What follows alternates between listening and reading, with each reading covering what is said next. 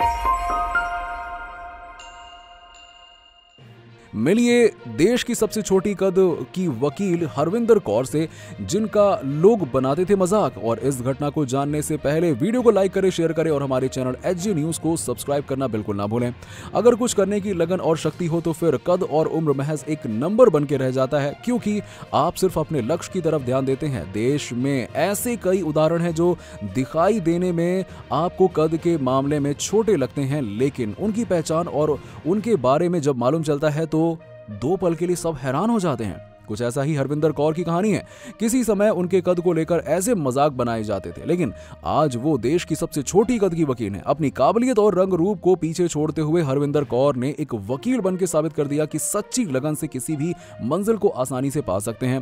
पंजाब के बटिंडा के पास रामा मंडी की रहने वाली हरविंदर कौर, फ़िलहाल वो जालंधर कोर्ट में वकील हैं। चौबीस वर्षीय हरविंदर कौर की हाइट तीन फिट ग्यारह इंच है। उन्होंने शुरुआती पढ़ाई अपने शहर में ही की है और इसके बाद वकालत की पढ़ाई पंजाब में की है। कुछ दिन पहले एक मीडिया हाउस से बातचीत करते हुए कौर ने कहा था कि शुरुआत में मेरी हाइट को लेकर लोग खूब मज़ाक उड़ाते थे, लेकिन जैसे ही मैं वकील बन गई, सब मेरी तारीफ़ करने लगे। हरविंदर बचपन से एक एयर हॉस्टेस बनना चाहती थी, लेकिन छोटी हाइट की वजह से उनका कभी सपना पूरा हो नहीं सका। जब लगा कि एयर हॉस्टेस बन नहीं सकती हैं तो उन्होंने वकालत की पढ़ाई की तरफ़ ध्यान दिया। हालाँकि इस बीच लोगों ने उनका काफ़ी मज़ाक बनाया, लेकिन लोगों के मज़ाक को दरकिनार करते हुए अपनी पढ़ाई में लगी नहीं और एक दिन वकील बन के सबको दिखा दिया कि है उनमें दम। दोस्तों, इतनी मज़ाक अपमान का सामना करने के बाद भी न रुकने वाली देश की सबसे छोटी कद की वकील हरविंदर कौर के लिए एक लाइक तो बनता है। इनकी कहानी के बारे में आप क्या कहना चाहेंगे, हमें कॉमेंट सेक्शन में ज़रूर बताइए। वीडियो को ज़्यादा से ज़्यादा शेयर करें और हमारे चैनल को सब्सक्राइब ज़रूर कर लें।